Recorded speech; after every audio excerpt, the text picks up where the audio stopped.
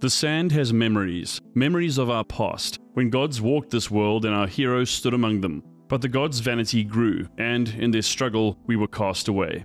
Existence is the endless competition between life and death, creation and destruction, being and non being. There are a few games where death doesn't play a central role and where we aren't compelled to become a living weapon. Whether it's the colorful world of something as comparatively benign as Super Mario Bros. or the sorrow-soaked depths of Dark Souls, many games are simply different iterations of this grand contest and a means for us to come to terms with our universal inevitable fates. The thing is, none of us have crazy tech, magic, or superpowers at our disposal. In many ways, games let us live out our fantasies of being heroes, or villains, and get a chance to taste that greatness all of us so deeply desire. And let's be real, is there anything more epic than clashing with colossal enemies and imagining ourselves to be something more than human, someone or something that is actually capable of making a positive change and bringing some semblance of peace to the world? What wouldn't those of us who truly care give for such a reality to come into being? I honestly think that if there's anything that unites us as gamers, it's the will to overcome challenges and, in many cases, seemingly impossible odds. In the world of RPGs, combat is everything, and to be more specific, mastery of combat. It's not all about knowing how to swing a sword or cast a spell. You also have to be aware of incoming attacks and take the appropriate action to avoid them. But really, over the many years that games have existed, it really seems like there's nothing new to be seen in terms of fighting mechanics.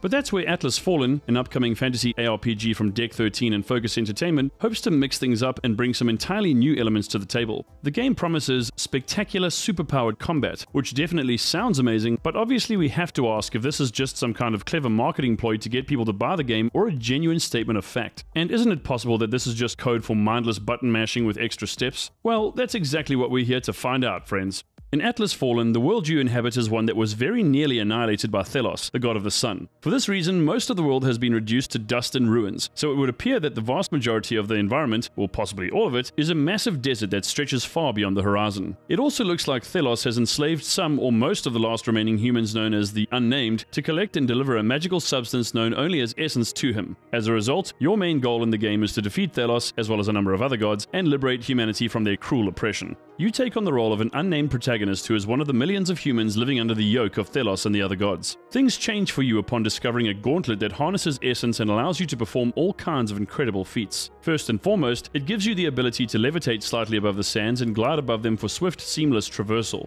This is definitely a huge relief because the idea of trudging over miles and miles of desert by foot sounds utterly soul destroying, and I guess this also means you won't have to worry about using mounts. Of course, you can still walk around as normal if you want to carefully survey an area, but if you need to make a quick getaway or begin your journey towards a distant location, your gauntlet will take care of it. As you may have guessed, the gauntlet also has the ability to not only let you float above the sand, but manifest various weapons that you can use to vanquish your monstrous foes known as wraiths. This is because the gauntlet grants you the ability to manipulate sand and densely pack it together in order to form the different implements of destruction you'll get to wield. As such, there are three different options to choose from, namely the Dune Cleaver, Sand Whip, and Knuckle Dust. The Dune Cleaver forms gigantic blades and hammers so you can slice and smash your foes to pieces. It's especially good if you like a no-nonsense aggressive approach to combat. The Sand Whip is more of a long-range weapon that allows you to keep your distance and take out monsters from afar. This is best if you prefer to play more defensively and rely on magic and heals to prevail in battles. Finally, the Knuckle Dust allows you to deal damage via a series of quick fist strikes and is apparently best used when facing a single enemy such as a boss or special enemy type. Each weapon represents a different playstyle, and you can have two available at any given time, meaning you can switch between weapon types during combat and piece together some devastating combos. You'll also notice that as you engage with enemies and land strikes during combat, your weapons will evolve, becoming larger and more lethal in the process. Each weapon has two ascensions, with each new level giving you the ability to obliterate your enemies far more easily. This is a really nice mechanic that makes you feel extremely powerful and adds a whole new dynamic to combat encounters as you are encouraged to nail hits and avoid taking damage so you can really lay into enemies and take them out more efficiently. You'll also notice that a lot of the combat in Atlas Fallen is airborne, so you'll spend a lot of time leaping upwards, hovering in place as you dish out and chain together attacks, nimbly dodging incoming attacks as you do so. This element makes Atlas Fallen feel really intense and kinetic and, much like the weapon ascension thing, gives you the very real impression that you are an unstoppable agent of destruction.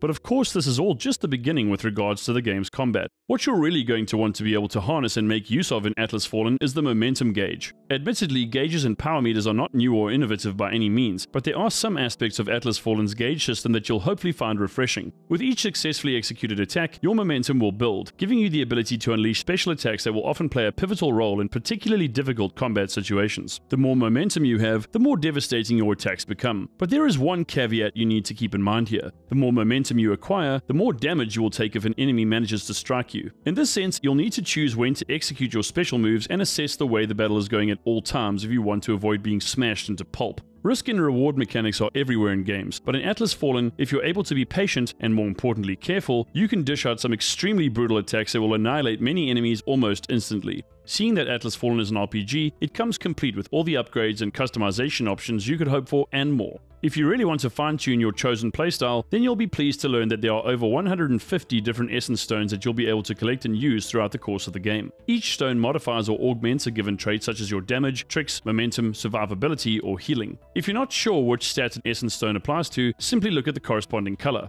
It's red for damage, purple for tricks, blue for momentum, green for healing, and yellow for survivability. You'll notice that different essence stones correspond with one of the three tiers of your momentum gauge. In other words, because of their effects, certain stones and their corresponding abilities can only be unlocked once your momentum gauge reaches a given level. There are both passive and active essence stones, so you can really customize the kinds of buffs you prefer to use in combat. You should also be able to unlock more slots under a given tier so you can equip additional essence stones to help you during combat. Again, there are over 150 stones to choose from, and each one can change the entire combat loop. As is usually the case, you'll need to experiment with different combinations of essence stones and find out which ones work best for you. As a bonus, if you really like a particular essence stone combination, you can save up to three different essence stone builds and switch between them when you're not actively engaged in combat. This is a really nice touch which will allow you to create even more powerful builds and approach different scenarios using the appropriate loadout. It's pretty incredible just how much time and thought has gone into crafting Atlas Fallen's combat, and besides the fact that the environments and enemies in the game look absolutely amazing, there are so many dynamics and custom playstyles you can develop play with here. It's always great when devs hone in on gameplay and use the mechanics as a central selling point, and with Atlas Fallen in mind, this does indeed seem to be the case. I also like the fact that the environments are relatively monotone owing to the preponderance of sand, but in stark contrast, attacks and spells are brightly colored and luminescent. This enhances the overall effect as the environment itself, as well as the enemies, almost serve as a backdrop upon which you can unleash a veritable swirling light show of moves. For larger wraiths, you can also target certain body parts which will allow you to incapacitate them and kill them more easily. They'll also drop resources that you'll then be able to collect and use to further increase your skills and abilities.